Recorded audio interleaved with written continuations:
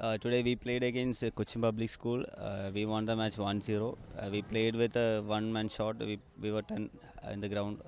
And we, our boys played well. They played their uh, maximum. And we had a good result. We came here with 10 players and we had to play with 10 players. But our team played well. It's because of our team coach Krishnandran. He, he he's the one who take to this കളിയിൽ ഞങ്ങൾ Kochi public school versus campaign സ്കൂളായിരുന്നു. നല്ല കളിയായിരുന്നു. എന്നാലും കുഴപ്പമൊന്നും ഉണ്ടായിരുന്നില്ല. One സീറോയ്ക്കാണ് campaign school ജയിച്ചത്. എന്നാലും ജയിച്ച ടീമിന് ബെസ്റ്റ് ഓഫ് ലക്ക്